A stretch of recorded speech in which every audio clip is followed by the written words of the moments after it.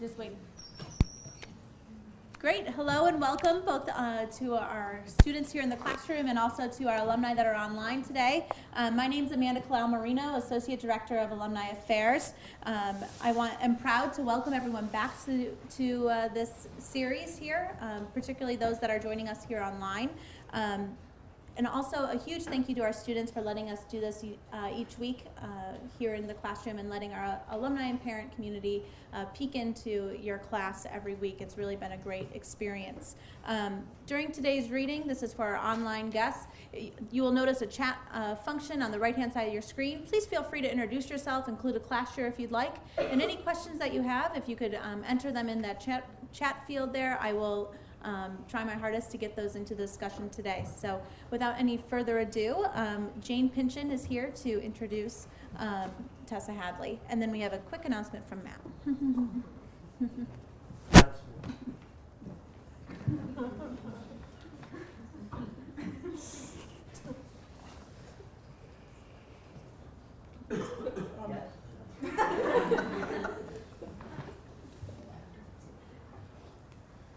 Um, two weeks ago, Frances Hwang had a story published in the New Yorker the very week she came to Colgate in the Living Writers series. She had taught at Colgate.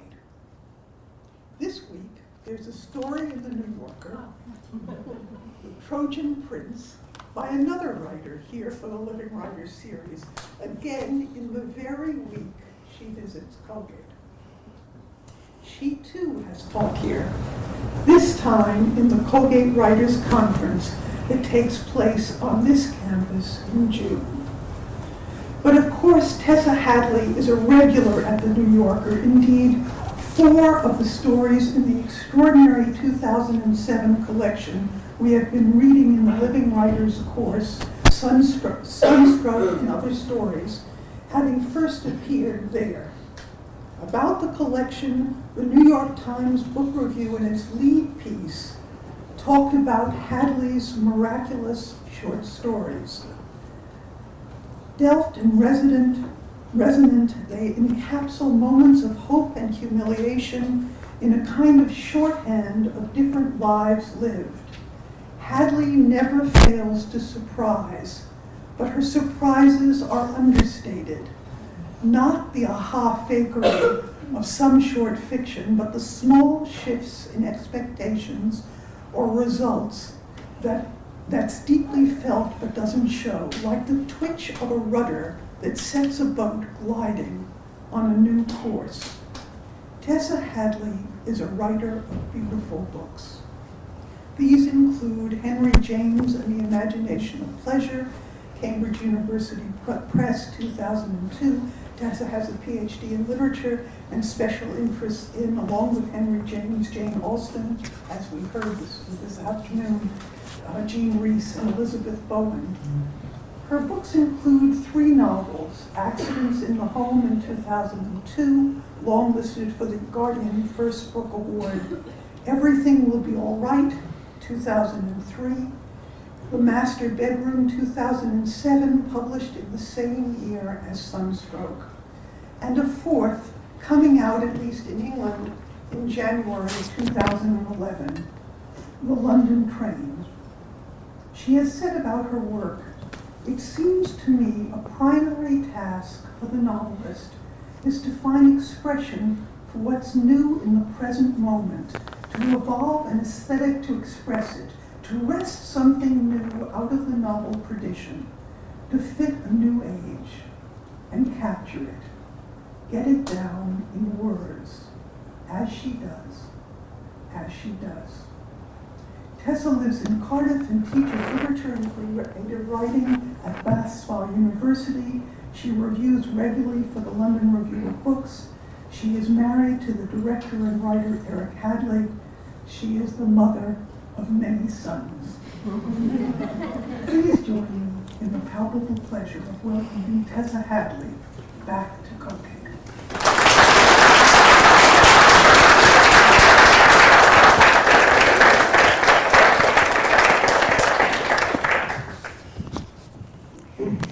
Thank you very much, Jane. And uh, Really lovely to be here again. Thank you very much for having me. We were here in summer last time, so this is a completely different vision of the place, but it's still looking beautiful. Uh, I've only got three sons, by the way. but my husband uh, has six, of which three are mine, so he's, he's the miracle, son wise. Okay. I was actually going to, when I first talked to Jennifer and Jane about this reading, I was going to read the Trojan Prince, the one that's just in the New Yorker, but now it feels a bit boring. It's out there. Um, so I'm going to read a new, a newer story, which also will be in the New Yorker at some point in the next few weeks or months. Um, it's a completely freestanding short story, but it's also going to be the first chapter of my new novel. I've written four chapters, and each of them sort of operates freestanding and is part of the whole. So don't tell me that you think it's really no good. okay. It's called Honour. My mother and I lived alone. My father was supposed to be dead. And I only found out years later that he'd left, walked out when I was 18 months old. I should have guessed this. I should have seen the signs or the absence of them. Why hadn't we kept any of his things to treasure? Why, whenever he came up in conversation, which was hardly ever, did my mother's face tighten, not in grief or regret, but in disapproval? The same expression she had if she tasted some food or drink she didn't like. She was fussy. We were both fussy. Fussy together. Why did none of our relatives or friends ever mention his name, which was Bert, unpoetically? What had he died of exactly? Lungs, my mother said shortly. She had hated his smoking. But it didn't really matter we were pretty happy living à deux. At least I was. This was in the 1950s, then the early 60s. I was born in 1956. So all those things were current and powerful then, which seem quaint now. Shame and secrecy and the fear that other people would worm themselves into your weakness and that their knowledge of how you had lapsed or failed would eat you out from the inside. My mother used to wear white gloves to go to the shops in summer. She used to carry a basket on her arm, real willows shaped like a segment of orange, with a tan leather flap and a fastener like a little brass barrel turning in a brass slot. Later on, when I was a teenager, I thought she was dowdy in her boxy good coats and silk scarves and low heeled court shoes. But looking at the photographs now, I see that it's me who's a fright.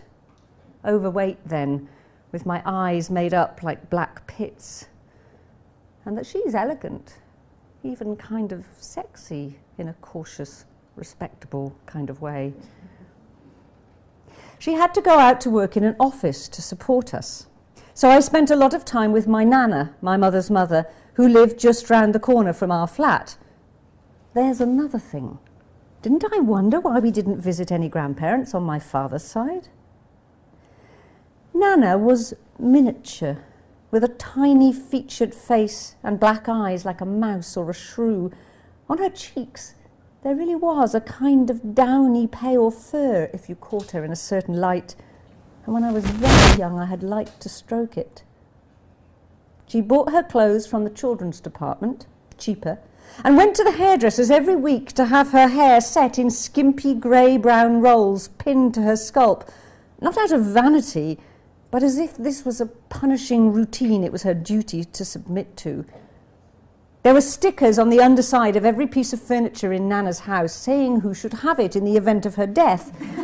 Edna, that was my mother, Frank, Uncle Frank, Ray, Uncle Ray. This was when she was in her early 60s. That old pair of steps. No, thank you, Mum said, but only when Nana was out of earshot. I had already decided what I wanted a jewellery box I was very keen on, which played music when the lid was opened. Nana was also a widow, a real one. I didn't remember my grandpa. Her house was very bare and there wasn't much furniture in it. This was because she was poor but also because she was continually in the process of clearing out, giving things away, as if she was trying to weigh less and less, as if life itself was a mess she was gradually getting to the bottom of. In the summer, when it wasn't too cold, I used to play upstairs in the bedrooms while Nana in her housecoat cleaned downstairs. What was there to clean? She survived in that house as neatly as a mouse living on crumbs.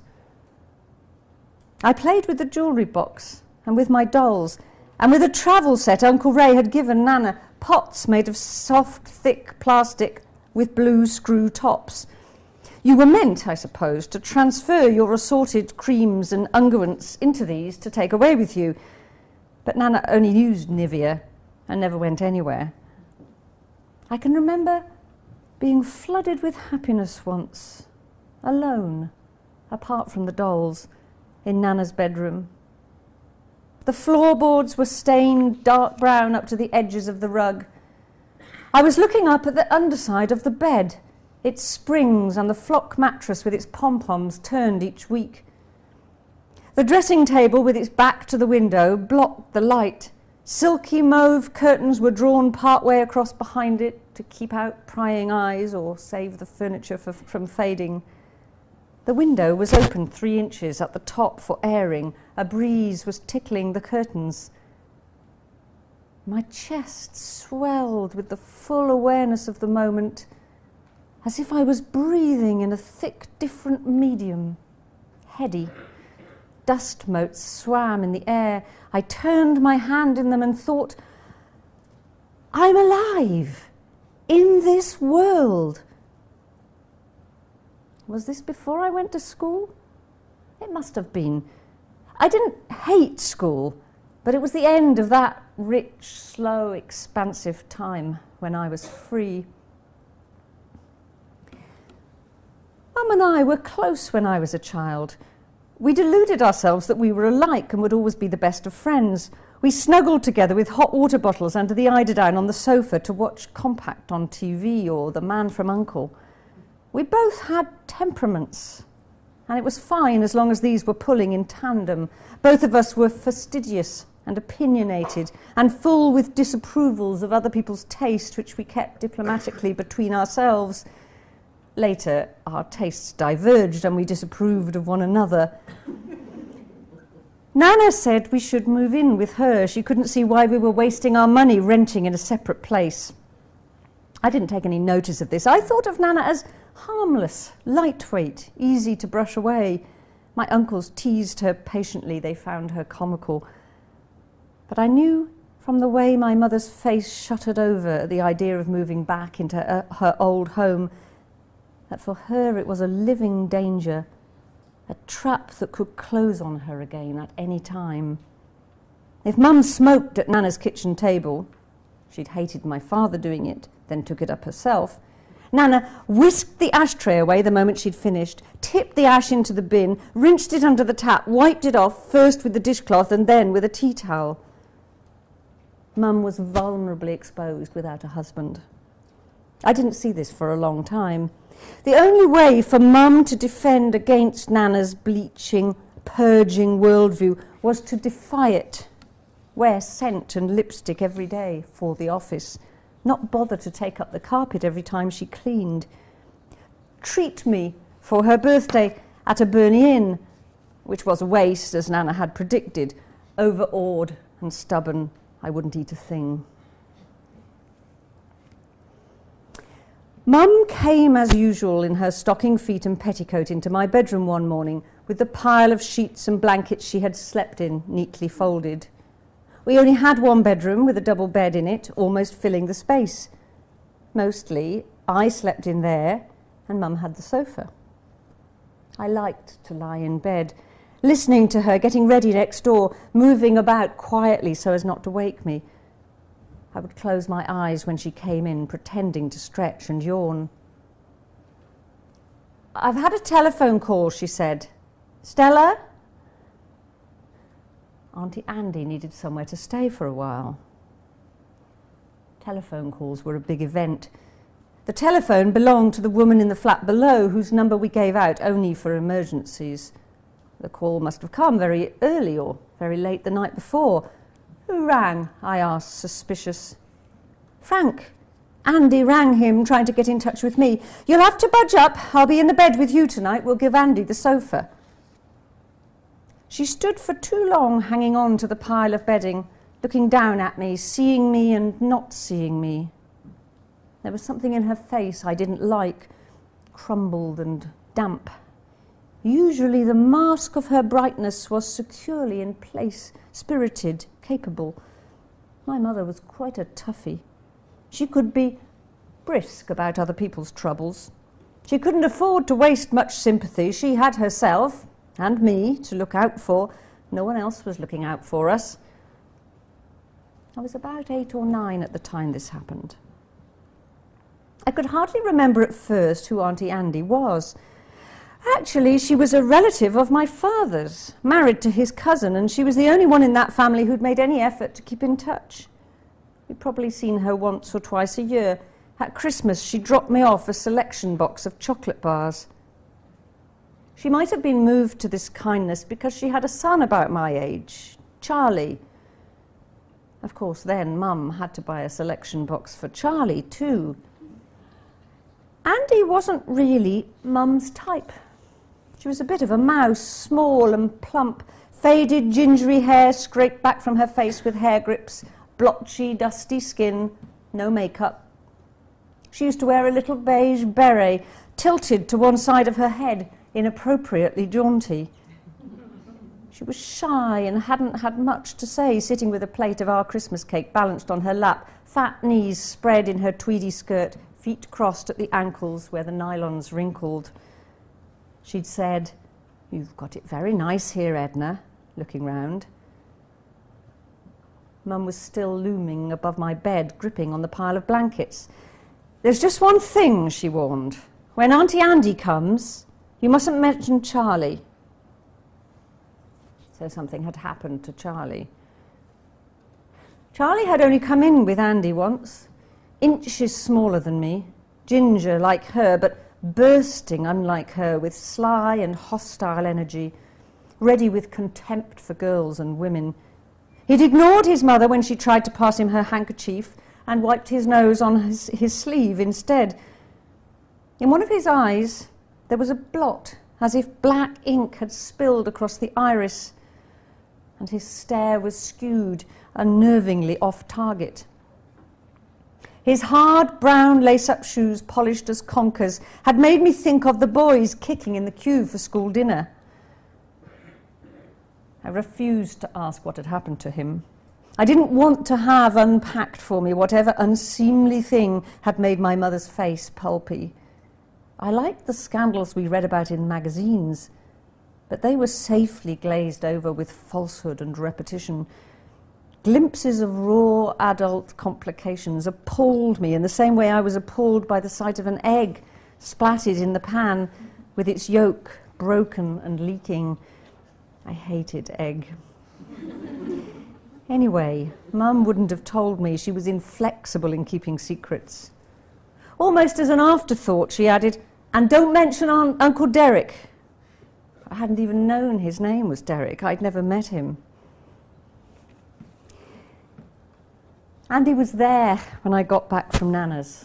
I always went to Nana's after school. I was allowed to walk home on my own after Nana had given me supper spam sandwiches, lettuce and tomatoes with vinegar shaken over them out of a cut glass bottle. Nana already knew all about Auntie Andy coming, but she wouldn't say anything to me directly. Not saying things was her specialty. She had quivered with worry, though, while she made my food. She had a horror of any publicity or, or exposure that touched the family, however remotely. I only hope Edna knows what she's doing, she fretted, not quite to anyone. And I was dreading that I would arrive home in the middle of a big fuss I couldn't bear crisis. The huddles of women, their lowered voices, smouldering glances, shutting the children out and yet looping them in, tantalizing them to the dark, sticky, mucky centre. My Auntie Jean, Frank's wife, was the worst. Girls practiced huddling in the school playground. Mostly Mum didn't like fuss any more than I did. Whatever it was that had happened to Andy and Charlie and Uncle What's His Name had been bad enough to shock her out of her usual poise. I had vowed to myself that I would never be looped in. Andy was sitting quietly at the end of, so- of, the sofa in a tweed skirt that looked like the same one she had worn last time. How are you, Stella? she said kindly. How was school? She did look odd in some way. What? I began gabbling about how well I had done in my mental arithmetic test and how we had drawn around plastic stencils of the United Kingdom in our books with little holes to put your pencil where the cities were, and how I had to bring something in for the nature table next week now that it was spring. I knew my mother was frowning at me urgently because by talking about school I must indirectly be bringing up the subject of Charlie, though I couldn't imagine Charlie ever shining at mental arithmetic or contributing to the nature table but I didn't want there to be any silences out of which raw truths might tumble. Auntie Andy said calmly, admiringly, that I sounded like a clever girl. Her face was rather white.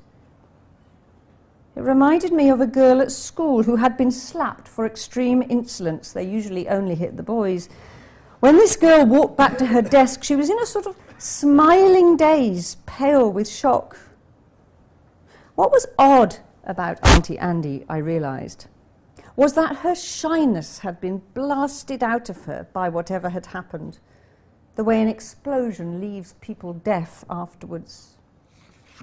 A few months ago, when she had sat in the same place on our sofa eating cake, she had been stuck for anything to say, apologetic, glancing round at the walls of our flat for inspiration, Mum had been imperiously, chillingly polite. With hindsight, I suppose she'd chosen this as the right register for relations with my father's family. Andy had blushed and stumbled over her words, and I had guessed that her feet were hurting her in her stilettos. The time Charlie came in with her, she had been suffused with maternal pride and surprise. Can I really have made this? Touching his hair and his shoulders surreptitiously, making him wriggle away but she had also suffered seeing his nose run in front of us. Now she sat almost serenely, as if nothing ordinary could touch her. Well, of course, it couldn't. I wanted to come here, she said to my mother, with no hint of worry that she might be an imposition. I remembered how nicely you'd done it up. When they asked me if I had anywhere to go to, I expect they thought go, I'd go to my sister's. But to be honest, Edna, I don't want anything to do with a whole lot of them just now. That first afternoon, she must have been in the middle of a severe trauma, as we'd call it these days. I don't suppose she knew what she was doing or saying. But this effect of the loss of her shyness never faded away afterwards. It wasn't that she became bold or greedy of attention or anything like that, far from it. Shyness transformed into something like itself, but different reserve or dignity. The only outward sign of extremity was that they were drinking sherry, or Mum was drinking it and smoking with hasty, nervous fingers. Auntie Andy's glass on the coffee table in front of her looked untouched. Go on, Mum said tenderly. It'll do you good.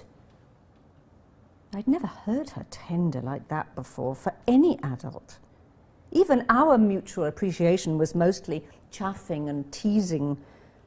Obediently, Andy picked up the glass to sip, but something happened to it between the table and her mouth, as if her hand simply wasn't under her control. Her arm jerked helplessly, and the sherry spilled over the top of the glass, a big gout of it, all over her skirt and our carpet. She wasn't just shaking, it was something more violent, equivalent to an avalanche or a volcano. In Andy's old self, she would have been mortified, but she only put the sherry back carefully on the table, folding her hands in her lap again, while Mum kneeled beside her, blinking in the smoke from her cigarette, wiping up blotting the mark out of Andy's skirt with a tea towel, I saw that, if anything, it was Mum who was shy now. Not shy of Andy in herself, but as if whatever had happened to her was added on like an annex to her personality forever, daunting and exacting a kind of homage of respect and service. I supposed that as soon as I was sent to bed, the two women would talk, and I would hear the too dramatic music of their murmured, scandalizing revelations and commiserations penetrating through the dividing wall. I'd heard my mother talk like this with Auntie Jean and felt betrayed because usually we made fun of Jean. It was our joke that she knew the gossip before it even happened. Jungle telegraph, Mum called it. However, when Mum told me to get my pyjamas on, Auntie Andy announced that she would go to bed now too. The doctor's given me some pills, she said, so I should be all right. I didn't get much sleep last night. My mother didn't try to explain about the sofa, that this meant she too would have to go to bed hours before her usual time. As a rule, she never turned in before 11 or midnight. She made up the sofa for Andy with clean sheets, boiled water for a hot bottle for her, and then Mum and I were shut in alone together. It was strange to have her undressing in the room with me when I was still awake, tussling to get out of her underwear under her nylon nightie, pulling her brassiere through a sleeve, settling down beside me with her book and her glass of water. She couldn't concentrate on what she was reading, and her restlessness and exasperation communicated itself. When she put out the bedside light, I whined that I couldn't sleep with the light on, I could feel the frustration of the long hours stretching out ahead of her in the dark when she was so charged up with vitality and energy. So, what happened to Charlie? I whispered. Oh, Stella, not now, for goodness sake. Heaving the bedclothes over, she turned her back on me decisively. For a while, we both lay awake, listening for signs of whatever unimaginable reverie was unfolding in the next room. There was nothing to hear. Next morning, when Mum got up, Auntie Andy was already dressed, sitting there on the sofa with her slapped face and vague smile, and all the sheets and blankets neatly folded. On the way to school, Mum told me that Charlie was dead flinging the word at me impatiently as if it was somehow my fault, and I ought to have guessed by now, as indeed I had guessed from the beginning. The real word spoken between us worked its ravages nonetheless. I resented Charlie with a pure rage. Why couldn't anyone else have been dead? He seemed a usurper in a realm that gave him a huge advantage of pity and terror. He surely didn't belong there with his ugly, stamping feet. Only his squint. It had made its impression, that inky blot. Must have been a sign of difference and romance, marking him apart. Dead? How? I insisted and she looked down at me, bright and smart in her office outfit, with distaste, I'm sure. A nasty accident, she said. I couldn't ask for shame. What accident? But the indefiniteness squirmed in my imagination, taking on foul forms. You're not to repeat a word about it to anyone, is that clear? Not one word, or I'll take my hand to you. She rarely smacked me, though she quite often threatened it. I was wounded that my mother could think I would want to pass on our contaminating secret. Becoming the centre of one of those huddles of girls, darkly informed, didn't appeal. Anyhow, I feared I wouldn't carry it off. Somehow the tables would be turned and the dirty story would stick to me, making me a pariah. I was too loudly insistent too shapeless and sexless, too good at English comprehension for those girls to trust. My instinct in those days, anyway, was to smother any unpleasant truth, push it back into its hole. I was, rather abstractly, enthusiastic over dogs and horses, because the emotions these roused seemed to me cleaner, unproblematic. I had a dreamy image of myself running through long grass down a steep field with a collie dog jumping up beside me, trying to lick my face. After long deliberation, I had decided collies was my favourites. This image was my idea of nature and had in my private world an almost religious resonance. Determinedly, all that day at school, I held Charlie at bay, inventing games to play with my couple of oddball friends.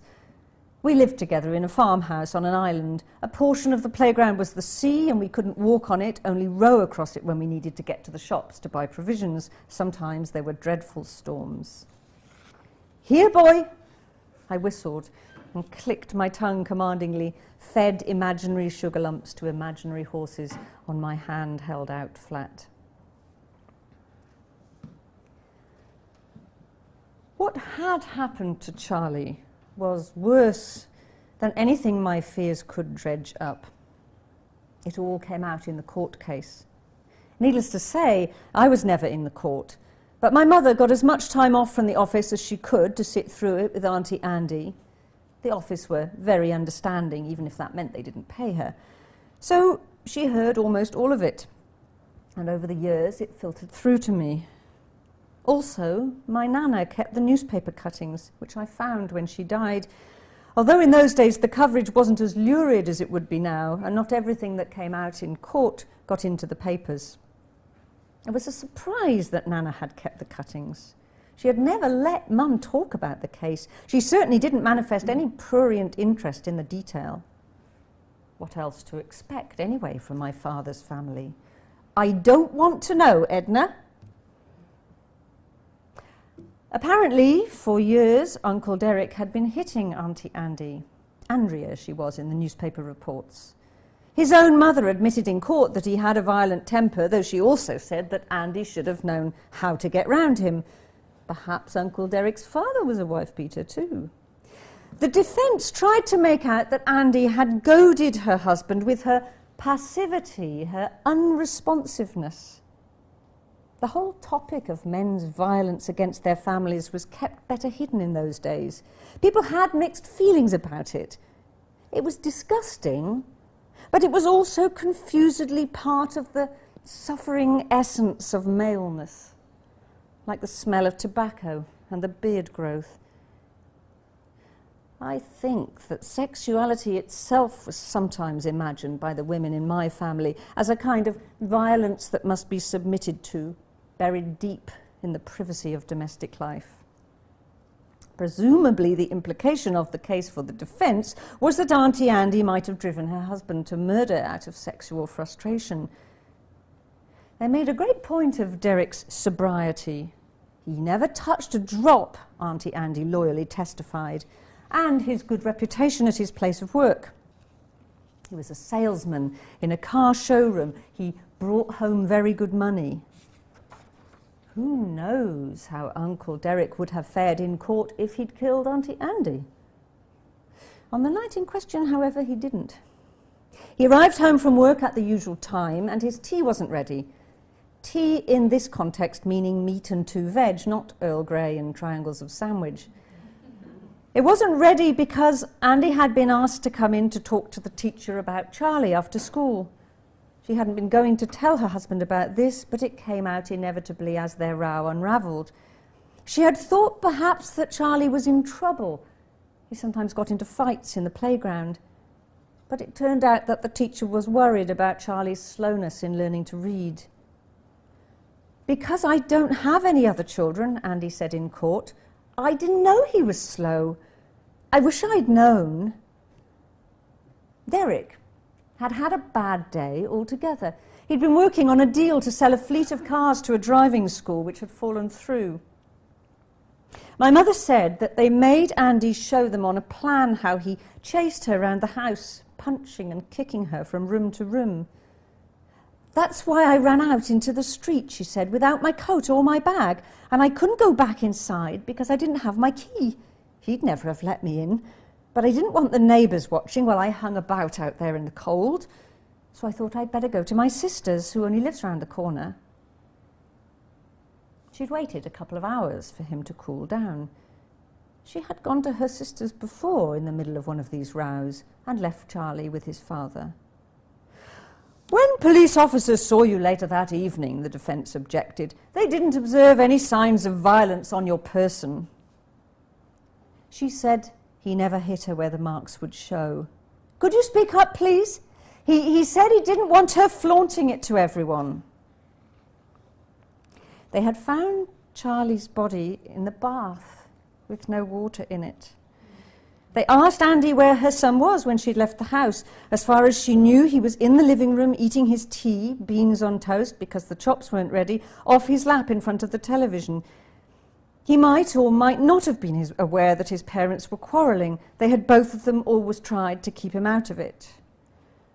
Andy had been planning to get out his reading book later, as the teacher had recommended, although she hadn't been very hopeful that he would agree to work on his spellings with her. He'd had a mind of his own, she said. She repeated that Derek had never hurt Charlie before. He wasn't a bad father. He had been worried about his son's problem with his eyes. He had even come with her to see the doctor. But she agreed with the defence. She shouldn't have left Charlie alone with him that night. She would never forgive herself. She didn't know now what she had been thinking of. They had arrested Derek in Nottingham. She had no idea why he'd gone there. He had no connection with the place. I really wished at the time when Auntie Andy was staying with us, and then later during the trial when we saw a lot of her again, that I hadn't known any of this. And I didn't know all of it then, though I did know about the bath, and it haunted me. I tried not to listen when they talked about it mostly my mother with Auntie Jean, but I hmm. couldn't help being curious against my better judgment, as if amongst the detail there was information I needed for my own survival. Innocent seeming fragments would get in past my defences the reading book, Nottingham, chops for tea, then stick to my imagination like tar.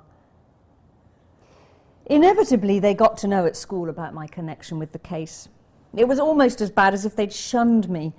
A deputation of older girls came up to me one playtime with solemn faces and presented me with a posy of flowers, probably picked out of the front gardens on their way to school, tied up in raffia from the craft cupboard. They wanted to say how sorry they were about my little cousin. One of them actually stroked my hair as if I moved her to spontaneous pity. I wanted to tell them that I'd hardly known Charlie, that he was a snotty nosed kid, and I'd hated him, and that he would have hated me back if he'd even deigned to notice my existence. But I didn't dare. I knew they wouldn't be able to forgive me if I cheated them of their syrupy, pleasurable sorrowing. So I thanked them and said I would give the flowers to my auntie. On my way home, I buried them in a dustbin. I was accorded a kind of sepulchral respect in school for a couple of weeks and then they forgot about me. From time to time, when I was alone in a room, I would suddenly have full, chilling consciousness that Charlie had been alive inside his own head once, as I was at that moment inside mine. And also that that person, which he really was, had undergone those things I knew were factually true in a present moment as real as this one and continuous with mine because it had baked beans in it and a, a bathroom with familiar, boring sink and towels and toilet. My mind expanded to take in new possibilities. This open air recognition was what lay in wait behind all the gloating, smothering words. Poor little chappie a blast of wind blowing through space, icy clean. Most of the time, naturally, when Auntie Andy wasn't around, I hardly thought about Charlie. I got on with my life. My mother used to say, in one of her set pieces, that she had never known what courage was until she saw how Andrea stood up to the lawyers in court. She was so perfectly polite and patient, but she never let them get under her skin. I couldn't have kept my composure the way she did. Actually, once the trial was over, the two of them didn't see that much of one another. Their lives took them in different directions. They had never really had much in common. Andy didn't become a different person after Charlie was killed. She never became one of the kind of bright, quick, funny women Mum chose for her best friends. Andy was always rather sweet and blank and, what's the word? Not conventional, because Mum was every bit as conventional. Andy was receptive, like a deep vessel into which life was poured. If this terrible particular thing hadn't been poured into her, she would have been happier, it goes without saying, but less of a person. She was filled out by her fate. I actually think this is quite rare, this capacity to become the whole shape of the accidents that happen to you. And it wasn't just a passive thing. I remember when Auntie Jean first came round, when, while Andy was staying with us, Jean had a big forthright bust and piled up black hair. She wore dangling earrings that were vaguely gypsy-ish. When Andy came out of the bedroom where she'd been lying down, Jean knelt on the floor in front of her, wrapping her arms round Andy's knees, sobbing extravagantly. I don't know how you could bear it, she said. I know I couldn't. Jean had three boys. The murder had cleared a social space round Andy. People didn't know how to address themselves to her. Probably Jean was just trying to broach that space in her overblown way. You can't deny that her gesture matched the extremity of the case. But Andy wasn't either touched or embarrassed. She stood very still and unresponsive until Jean let go. I'm sorry, I don't like scenes, Andy coolly said. I'm sure Uncle Derek was less interesting than his wife. He wasn't interesting just because he had killed someone. In my adult life, I lived for a while in a house with brick steps down into a narrow coal cellar, like a passage to a dead end, where we kept the brooms and buckets and broken things we hadn't got around to fixing. It used to flood with filthy water at certain times of year, and now I imagine Uncle Derek's inner life like this nasty and cramped and musty smelling, shut away from daylight, subject to the drag of tides of violence. The little despotism he installed inside the four walls of his home only mattered in its relation to the whole towering, mahogany coloured, tobacco smelling, reasonable edifice of male superiority in the world outside, and mattered because of its consequences in other lives. I know my mother reported that in court he'd said he'd got the worst of a bad bargain in his wife. They did let him out of jail eventually, I believe, after he'd served 15 years of his sentence, and he went to settle in some part of the country where he wasn't known. During that time Auntie Andy was staying with us, Mum left me alone in the flat with her on Saturdays when she went out shopping. Sometimes Andy played dolls with me. This was a new experience. The adults I knew didn't play with children unless it was something organised like cricket. But Andy didn't put on a childish voice, and she entered into the reality of the different dolls' characters and sensitivities with what seemed like an authentic interest, almost naive. I checked in her face to make sure she wasn't teasing. We undressed, undressed them in their tiny clothes, flipping them over to do up the poppers, skewering plastic boots onto hard pointing feet. After the court case was over, Andy made a dress for my teenage doll, layered skirts in pink nylon trimmed with minute roses made of satin ribbon. Unbelievably pretty, though it was a bit tight and wouldn't do up down the back. Sometimes when she and I were alone in the flat, Auntie Andy went into the other room to lie down, and I heard her crying, although Mum said to Jean that she never did. It didn't occur to me to try and comfort her. I would pretend to carry on with my play, feeling miserably guilty. I was only a child. I had nothing I could offer, and I must be a living reproach that I wasn't Charlie. though Andy never made me feel this by any word or sign. Auntie Andy had to find a job. She had to get a divorce and a place to live by herself. She couldn't go back to that house, obviously. And all of this worked out well for her. I think she must have come to our flat in the first place, not only out of revulsion against everything to do with her old life, but also because my mother's solitary, cheerful style, frilly aprons and nail polish and lemon yellow guest towels, had signalled to her, even before the disaster, a vision of possibilities different to the ones she knew. Imagine daily life with Uncle Derek. And Mum was honoured by Auntie Andy's choosing us. It seemed a consecration of Mum's situation as a single woman, managing bravely by herself. Although Andy's staying was an inconvenience and a strain, too. My mother acquitted herself with exemplary generosity. She really did.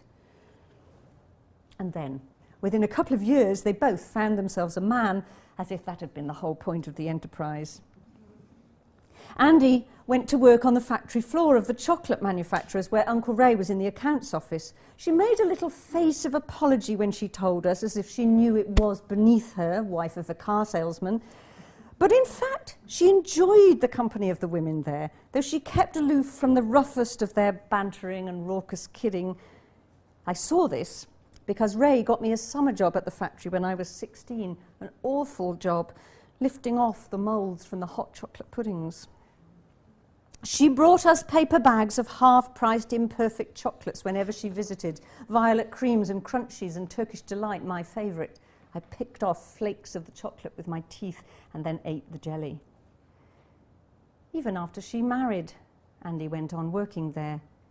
Carrying on for the moment, she said suggestively.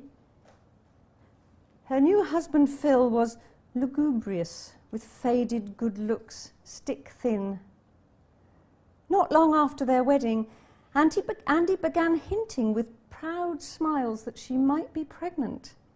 She must have been 40 ish by then. She was a lot older than my mother. Some of this I picked up at the time from conversations between Mum and Auntie Jean. Their twilight tones alerted me. I knew they must be talking about bodies. Apparently, she suffered from real morning sickness. Her stomach swelled, her breasts were sore, they hardly ever used that word breasts. It was reserved for medical matters only uttered in dropped voices. But in the end, nothing came of it. It was a false alarm. Doesn't it just break your heart? Jean said, mopping her eyes.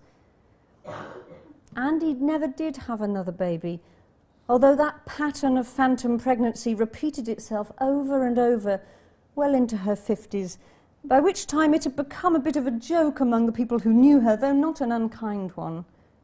To Uncle Phil's credit, he never gave the least sign of scepticism over her symptoms. He was punctilious in his attentions, urging her to put her feet up, bringing, bringing the barley water with soda she'd suddenly taken a fancy to. And he talked about her disappointments as if they were miscarriages but Jean didn't believe she'd ever really conceived in her second marriage. My mother said she didn't know, it was none of her business. However bitterly these disappointments were felt in private, nothing altered Andy's queenly kindness and distance. As far as I know, these phantoms were the only outward sign, as her life went on, of continuing trauma from what had happened I can't help feeling, thinking about it now, that there was an element of histrionic performance in them, contrasting with the rest of her reserve. Exacting our sympathetic goodwill under false pretenses, she claimed some latitude, some indulgence in return for the magnitude of what she had undergone and what she had lost, which could never be restored.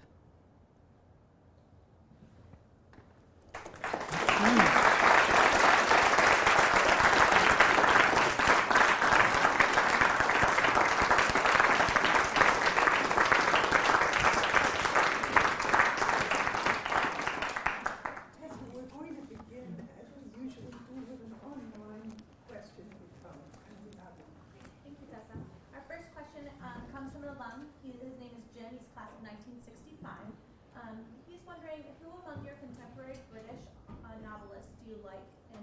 your work? Perhaps two or three. Oh, what a complicated question. Um, I was talking earlier to the students. I really, I'm a great admirer of Colm Tóibín, the Irish writer. Uh, I think he's marvellous, just reading his news stories. Uh, Irish writers, on the whole, actually, I love Claire Keegan, and I love John McGahern, who's not really a contemporary, no longer alive, but recent and feels very contemporary. So, strangely, I've come up with three Irish. That doesn't mean I don't like any of my uh, mainland British contemporaries.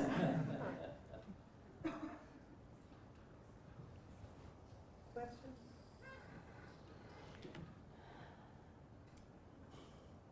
I'd love to have you talk a little bit about Elizabeth Bowen. Okay, I love to talk about Elizabeth Bowen.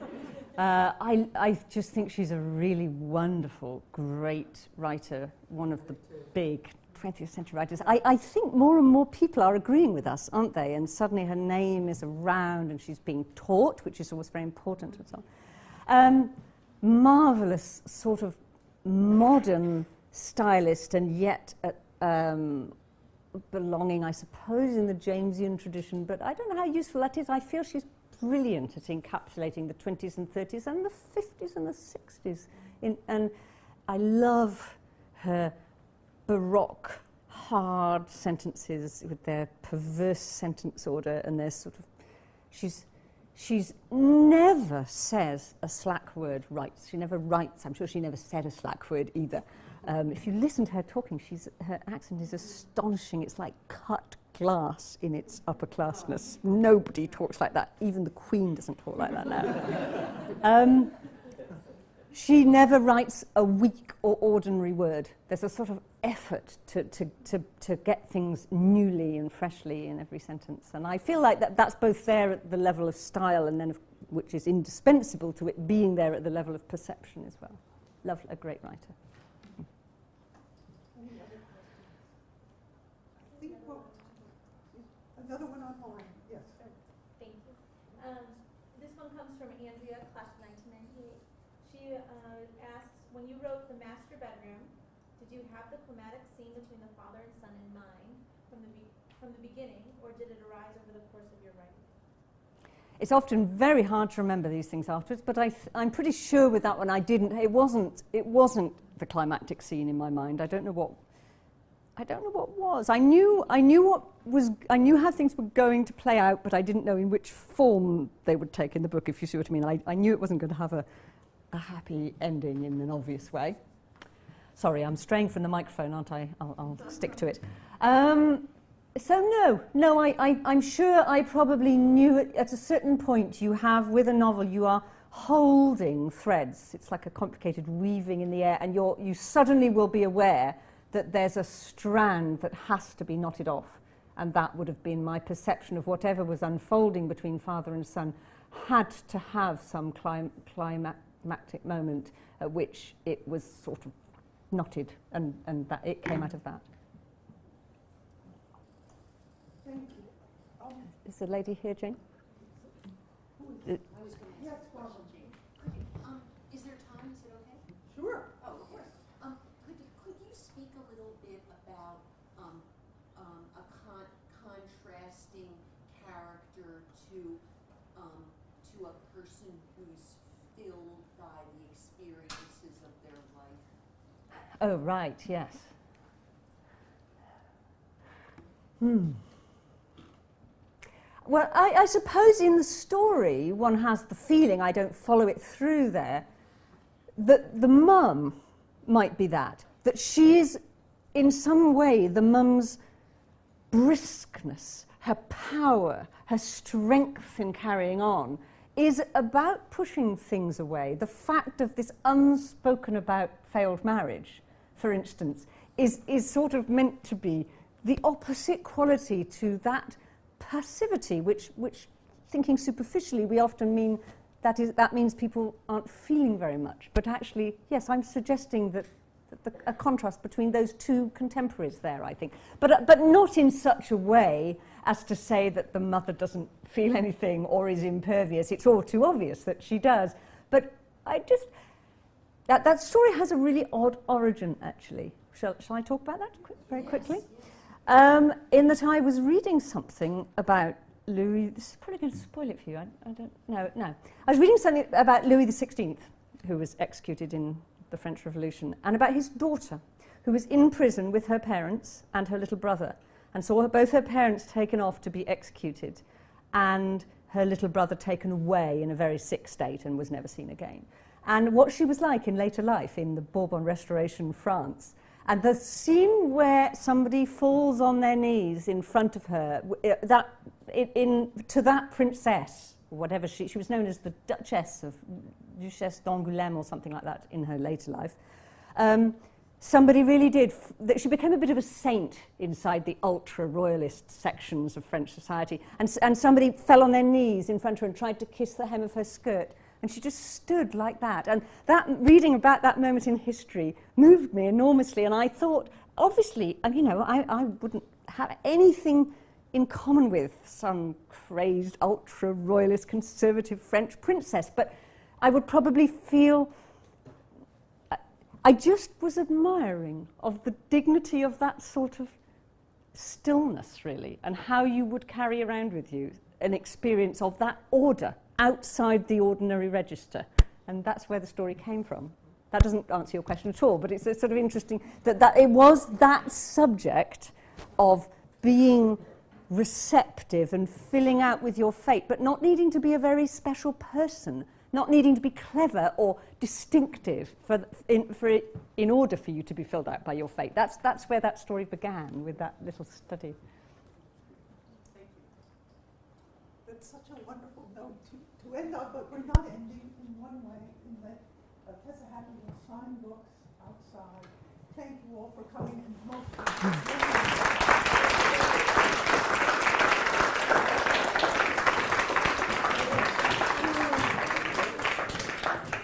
Did it spoil it? No,